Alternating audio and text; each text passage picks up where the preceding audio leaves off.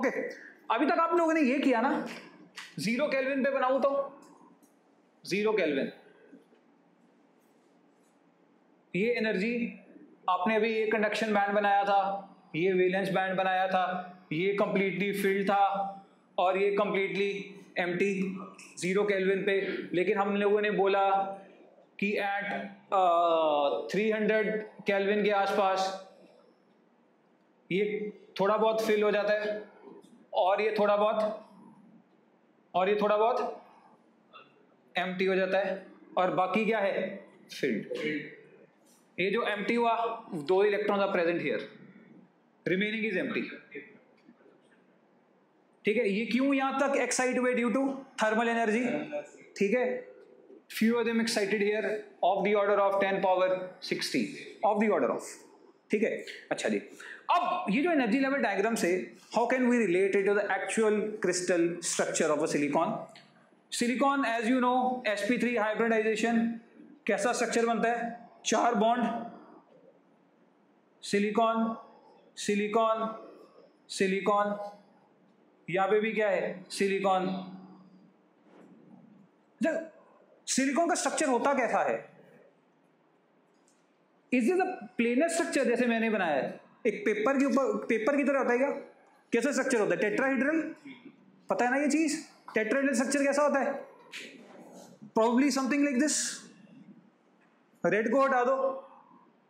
ठीक है? रेड को हटा दो, यहाँ पे भी क्या लगा दो? व्हाइट ठीक है? And all bond lengths are equal so tetrahedral structure is something like this do you understand right एक सिलिकॉन ये नेबरिंग एक, दो, तीन, चार सिलिकॉन ये सिलिकॉन इसके भी ऐसे ही चार सिलिकॉन। ये सिलिकॉन ऐसे ही इसके भी। नेबर चार सिलिकॉन। तो पेपर में यहाँ बोर्ड पे ड्रॉ करने के लिए it is it looks like a planar structure but actually it is not a planar structure do you understand now अब इलेक्ट्रॉन्स कहाँ कहाँ पे हैं? जो बॉन्डिंग के अंदर फॉर हेल्पिंग इलेक्ट्रॉन्स कहाँ कहाँ पे हैं? जो बॉन्ड फॉर्मेशन में अवेलेबल uh, है। ये ऐसे ही है ना? ये कौन सा बॉन्ड है? आयनिक बॉन्ड है? कोवलेंट बॉन्ड है? आयनिक बॉन्ड कब बनते हैं? When there is a electronegativity difference एक बहुत ज़्यादा इलेक्ट्रोनेगेटिव है, दूसरा कम इलेक्ट्रोनेगेटिव है। यहाँ तो सभी की सब सिलिकॉन है। All all of the silicon got same electronegativity right? They don't form ionic bond, they form, they share the electrons, right? अब एक चीज़ देखो। ऑल दीज इलेक्ट्रॉन जो मैंने ब्लू कलर के साथ बनाए हैं इनकी जो भी एनर्जी है, it lies in this valence band. All these are sp3 hybridize orbitals. जितने भी इलेक्ट्रॉन्स हैं they are all they all are in sp3 hybridize ठीक है? तो यानी कि जितने भी इलेक्ट्रॉन है, यानी कि इसकी एनर्जी कहाँ पे है? इसके अंदर. इसकी एनर्जी कहाँ पे है? इसके अंदर. इसकी एनर्जी कहाँ पे है? इसके अंदर. जितने भी बॉन्ड फॉर्मेशन वाले इलेक्ट्रॉन है उनकी एनर्जी कहाँ पे है? वेलेंस बैंड में। Obviously valence band is not a single energy band. It's it consists of, of it consists of multiple energy bands. जिनका डिफरेंस आपस में इतना कम है that we ignore that. We say it's a single band. इसकी energy हो सकता है नीचे हो इसकी एनर्जी थोड़ी सी ऊपर हो इसकी एनर्जी थोड़ी सी और ऊपर हो इसकी एनर्जी थोड़ी सी और ऊपर हो। इसकी एनर्जी मान लो टॉप मोस्ट हो। But hardly any difference very very small energy difference वो डिफरेंस भी इस कारण है क्योंकि सबके नेबर अलग अलग हैं। इसको कुछ और एनवायरमेंट दिखाई दे रहा है।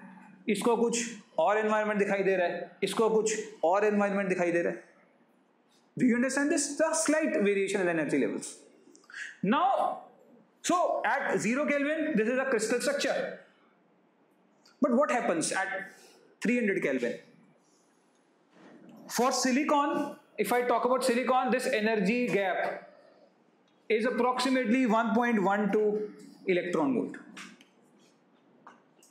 यानी कि इसको फ्री होने के लिए जब ये फ्री हो जाएगा तो इसकी एनर्जी देखो फ्री होने का मतलब क्या है? फिर से यहाँ से पूछ रहा हूँ।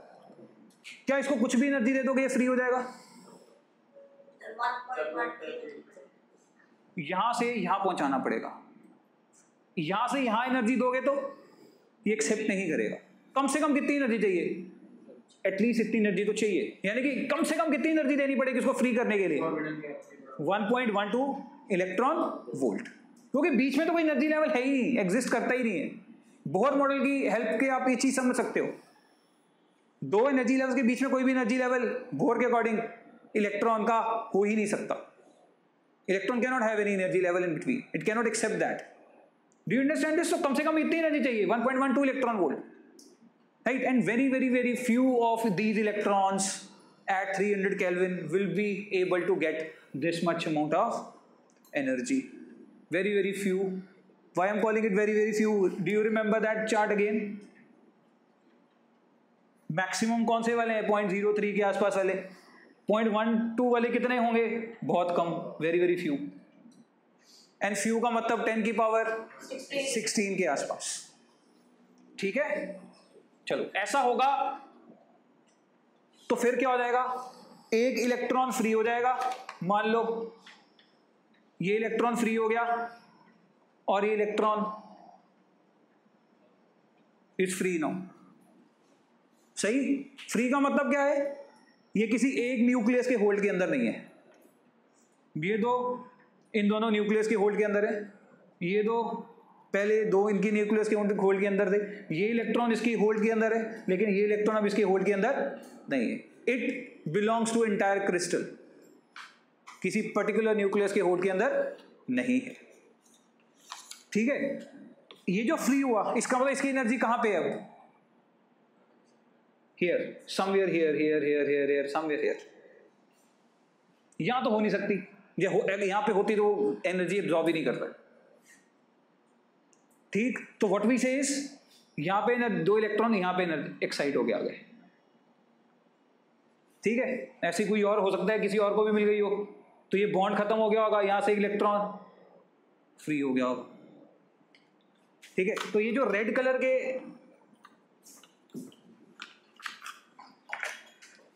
तो ये जो रेड कलर के हैं, ये वन दिस वन इनकी एनर्जी कहाँ पे? यहाँ पे। और ये जो ब्लू वाले इनकी एनर्जी कहाँ पे? ये रे ये रे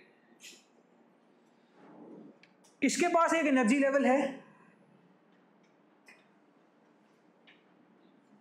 है कि नहीं? देखो, एक चीज़ है, एक तो है कि एनर्जी लेवल का होना, दूसरा है कि उस एनर्जी लेवल पे इलेक्ट्रॉन का होना, ये दोनों अलग अलग चीज़ें हैं। हाइड्रोजन की अगर मैं क्वांटम स्टेट बनाऊँ, वो क्या क्या है? N one N two N three Bohr के अकॉर्डिंग तो इलेक्ट्रॉन मान लो यहाँ पे, इसका मतलब ये थोड़ी ना कि ये क्वांटम स्टेट एग्जिस्ट नहीं करती. क्वांटम स्टेट जो है इलेक्ट्रॉन कैन गो देयर हाँ कि ना? तो यहाँ पे एक सिलिकॉन के पास जो इलेक्ट्रॉन निकला, वो किसी ना किसी क्वांटम स्टेट में तो होगा उस टाइम पे ना सिलिकॉन के होल्ड में. इलेक्ट्रॉन निकल गया, लेकिन एनर्जी स्टेट तो स्टिल एग्जिस्ट क्वांटम स्टेट तो स्टिल एग्जिस्ट करती है। कोई वहाँ पे आ सकता है। तो ये जो क्वांटम स्टेट यहाँ पे फ्री है, जहाँ पे इलेक्ट्रॉन आ सकता है we call it vacancy we call it vacancy और द होल सिंपल आपसे एक क्वेश्चन है, ये जो वैकेंसी हो गई यहाँ पे वैकेंसी है, इसकी एनर्जी कहाँ पे? कहाँ पे? ये जो ग्रीन देखो यहाँ पे एक वैकेंसी है और यहाँ, एक यहाँ पे वैकेंसी है। कहाँ पे एनर्जी क्या ये एनर्जी है वैकेंसी की? हाँ की ना, क्योंकि यहीं से इलेक्ट्रॉन फ्री हुए थे। ठीक है? So this is the energy level of vacancy और होल अब मैं ये चीज़ बोल रहा था, आपको होल में कौन कौन जा सकता है? कौन से एटम इलेक्ट्रॉन जा सकते हैं? पोटेंशियल डिफरेंस पहली बात, अपने आप कोई नहीं जाएगा। इन सबको एनर्जी चाहिए यहाँ तक पहुँचने के लिए। पोटेंशियल डिफरेंस हल्का सा लगाओगे तो कौन से इलेक्ट्रॉन यहाँ पे जा सकते हैं? नेबरिंग वाले, सिर्फ़ वेलेंस बैंड वाले। Why am calling it vacancy क्योंकि अब ये इलेक्ट्रॉन यहाँ पे जंप करने लायक हैं। ना even these electrons which are in valence band they can also accept energy by applying potential difference देखो, मैंने आपको क्या बोला? पोटेंशियल डिफरेंस है, इतनी एनर्जी है कि वो आसपास के ऑर्बिट एनर्जी लेवल्स पे जंप कर सकते हैं। बट इतनी नहीं है कि यहाँ से यहाँ जंप कर सकते हैं। ठीक है? Now these electron they are in the position to accept energy and come here and here that means ये वाले इलेक्ट्रॉन भी कोई ना कोई आप कंडक्शन प्रोसेस में हेल्प कर सकते हैं। ठीक है? अच्छा ये वैकेंसी कहाँ पे है? ये रही वैकेंसी यहाँ पे। इसको वैकेंसी क्यों बोल रहा हूँ? क्योंकि सिलिकॉन को एक इलेक्ट्रॉन चाहिए to complete the bond yes और नो जब एक इलेक्ट्रॉन चला गया क्या ये सिलिकॉन पॉजिटिवली चार्ज हो गया कि नहीं हो गया? जब इलेक्ट्रॉन निकल गया is the silicon now positively charge yes और no so this is a vacancy and it is a site of a positive charge जहाँ ये वैकेंसी होगी, उस सिलिकॉन के पास क्या होगा? पॉजिटिवली चार्ज ये जो इलेक्ट्रॉन ये कहाँ से बाहर आया होगा? मान लो यहाँ से इलेक्ट्रॉन ये भी निकल आया बाहर। तो यहाँ पे एक वैकेंसी होगी। ये कितना क्या, कौन सा चार्ज आ गया? पॉजिटिवली यहाँ से इलेक्ट्रॉन फ्री हो गया। Free electron do you understand this now so this is a hole in energy level diagram this is a hole ठीक है? और इस, in a crystal structure this is a hole these two are the holes और इनकी energy कहाँ पे है? ये रही। ठीक? तो हो सकता है अगर आप पोटेंशियल डिफरेंस लगाओ तो कोई इनमें से कोई इलेक्ट्रॉन इनमें से मतलब स्ट्रक्चर क्रिस्टल स्ट्रक्चर में देखो तो कौन सा इलेक्ट्रॉन कोई भी ब्लू वाला। कोई भी ब्लू वाला। ठीक है ना? कोई भी होल के अंदर आ सकता है। By gaining certain amount of energy do you understand this तो हो सकता है ये टूट के यहाँ पे आ जाए। ठीक। हो सकता है ये इलेक्ट्रॉन ये बॉन्ड टूटे बाय अप्लाइंग पोटेंशियल डिफरेंस ज़्यादा एनर्जी तो चाहिए नहीं इसको तोड़ने के लिए। क्यों ज़्यादा एनर्जी नहीं चाहिए? क्योंकि बहुत पास एक वेकेंट एनर्जी लेवल अवेलेबल है ठीक है वो किसका एनर्जी लेवल है? वो होल का एनर्जी लेवल है। So it may break and come here yes अगर ऐसा होगा तो फिर क्या होगा? फिर ये खाली हो जाएगा। ये होल बन जाएगा और यहाँ पे इलेक्ट्रॉन आ जाएगा। यानी कि ये खाली हो गया फॉर एग्ज़ाम्पल और इलेक्ट्रॉन कहाँ पे आ गया? यहाँ पे। अब ये होल बन गया। यानी कि अब इसके बाद वैकेंसी है और इसके बाद वैकेंसी है तो ये पॉजिटिवली चार्ज पार्टिकल है। क्यों? एक इलेक्ट्रॉन जाएगा तो ये पॉजिटिवली गारंटीड होगा। राइट और नॉट अच्छा जब भी thermally generated free electron available होगा तो एक होल तो साथ में बनेगा ही बनेगा। इतनी बात समझ में आती है? अगर यहाँ से एक इलेक्ट्रॉन निकल जाए, यानी कि वेलेंस बैंड से कंडक्शन बैंड में चला जाए तो यहाँ पे क्या क्रिएट हो जाएगा? होल। तो व्हाट वी से कभी ऐसे नहीं बोलते कि थर्मल थर्मली जनरेटेड इलेक्ट्रॉन या thermally generated hole we call a common term called thermally generated electron hole pair do you understand this thermally generated electron hole pair इतनी बात समझ में आई? हा। की नाम से ठीक। ठीक? ये कितने हैं? मैंने आपको आइडिया दिया था। हाँ। Of the order of ten the power twelve to ten power sixteen depending on different different materials यहाँ तक किसी को दिक्कत परेशानी है कि नहीं? ठीक। Now I talk about when I apply potential difference what will happen now कई बार बच्चे ये कंफ्यूज करने लगते हैं इस कारण मैं अलग अलग करके करवा रहा हूँ। पोटेंशियल डिफरेंस लगा दिया आपने। अब क्या होगा? इसके क्रॉस लगाऊँ, यानी कि ज़ीरो कैलविन पे लगाऊँ या काफ़ी कम टेम्परेचर पे लगाऊँ और रूम टेम्परेचर पे लगाऊँ। बताओ किस केस में कंडक्शन होगा? किस केस में कंडक्शन नहीं होगा? यहाँ पे नहीं होगा। क्योंकि पोटेंशियल डिफरेंस लगाने पे इतनी एनर्जी नहीं होती कि वो वेलेंस से कंडक्शन बैंड मूव कर सके। तो लो टेम्परेचर के ऊपर semiconductor acts like pure insulator है ही नहीं कोई फ्री इलेक्ट्रॉन ये सब के सब एनर्जी गेन करने लायक है नहीं। कम से कम इतनी एनर्जी देनी पड़ेगी। वो पोटेंशियल डिफरेंस लगाने से इतनी एनर्जी एक्वायर नहीं कर पाते। राइट नाउ ये मेरा डिस्कशन पार्ट खत्म। So this is a insulator let's remove it let's talk about conduction. When you apply a potential difference, conduction at room temperature. Right now what can happen at room temperature i apply a potential difference sorry for the repetition but let's go a systematic way right in the presence of this potential difference two things can happen one ये जो free electrons हैं जो कैसे generate हो रखे हैं thermal ठीक और they start drifting that way towards a positive plate right so current is due to electrons this is called electronic current यानी कि electron current due to movement of free electrons now क्या सिर्फ़ ही free electrons are participating in conduction process या other there is something else as well ये जो electrons हैं can these gain energy now by applying potential difference yes why क्योंकि बहुत closely एक energy या क्वांटम स्टेट अवेलेबल है they can jump देर ये क्वांटम स्टेट कौन सी है जो मैंने डैश डैश के साथ मार्क की है? होल्स की. यानी कि यहाँ पे और यहाँ पे. यानी कि कोई भी इनमें से इलेक्ट्रॉन यहाँ पे आ सकता है। ये सब इलेक्ट्रॉन कौन से हैं? बॉन्डेड वाले ब्लू वाले.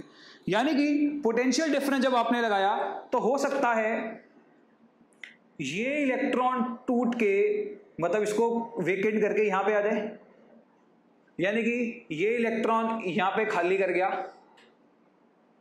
यहाँ पे एक होल जनरेट हो गया और ये इलेक्ट्रॉन यहाँ पे शिफ्ट हो गया। इसने ये एनर्जी लेवल एक्वायर कर लिया। ठीक है? तो यहाँ पे एक होल क्रिएट हो गया। और जब भी होल आएगा, यानी कि एक इलेक्ट्रॉन यहाँ से चला जाएगा तो सिलिकॉन के पास चार्ज कैसा हो जाएगा? पॉजिटिव ठीक? तो हो सकता है ये इलेक्ट्रॉन टूटे और यहाँ पे होल क्रिएट हो जाए, यहाँ पे आ जाए। ऐसा होगा तो इसके तो वैलेंसी पूरी हो जाएगी और इसके पास क्या आ जाएगा? पॉजिटिवली चार्ज और ये क्या बन जाएगा? होल होल क्यों बोल रहे हैं? क्योंकि यहाँ पे एक वैकेंसी है। यहाँ पे एक एम्प्टी क्वांटम स्टेट है। Any electron can come here do you understand this हाँ कि ना? तो एक चीज़ देखो, ये जो पॉजिटिव चार्ज यहाँ पे था, ये पहले यहाँ पे शिफ्ट हुआ, फिर ये यहाँ पे शिफ्ट हुआ, फिर ये ऐसे ऐसे करते। ये भी तो मूव कर रहे हैं। कि ना? एक्चुअल में सिलिकॉन मूव नहीं कर रहा है। क्या चीज़ मूव हो रही है? वेकेंसी मूव हो रही है। एम्प्टी क्वांटम स्टेट मूव हो रही है और which is acting like a positively charge particle, which is acting like a positively charged particle, but actually it is not a particle which is moving. Movement तो ये भी electron का ही है।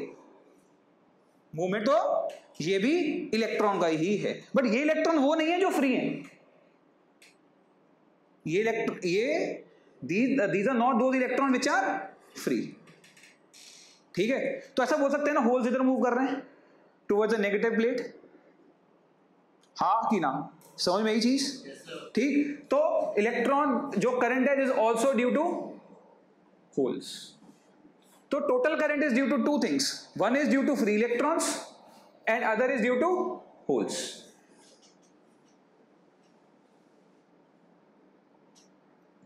holes act like positive charges, free electrons are negatively charged particles. So, current is due to both. या तो किसी को दिक्कत है तो बता दो। हाँ कि ना ये चीज़ समझ आई ना? देखो, अगर मैं मान लू एक प्लस ई e इधर गया और एक माइनस ई e इधर गया। बताओ करंट कितना? Two E e. हाँ कि ना। क्योंकि अगर एक नेगेटिव इधर गया इट इज़ इक्वल टू एक पॉजिटिव ई इधर आया। यानी कि टू ई करंट है। डू यू अंडरस्टैंड दिस चलो। अच्छा एक चीज़ इंटरेस्टिंग पार्ट नाउ ये चीज़ समझ में आती है?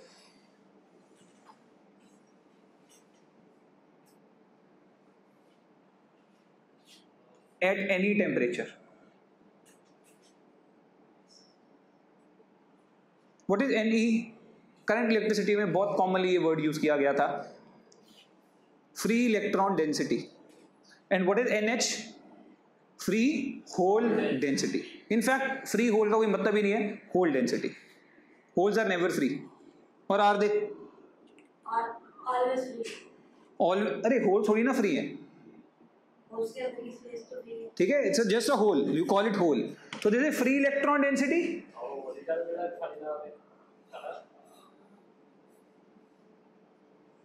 and this is hole density क्या ये चीज़ समझ में आती है? एट एनी टेम्परेचर जितने number of free electrons per unit volume होंगे उतने ही नंबर ऑफ़ होल्स होंगे पर यूनिट वॉल्यूम कारण?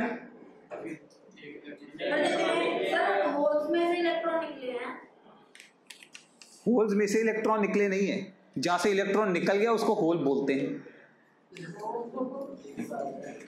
ठीक है? Because they are thermally they are thermally generated electron hole pairs सही है? और क्या electron hole pair potential difference लगाने की वजह से भी क्रिएट होता है? ना।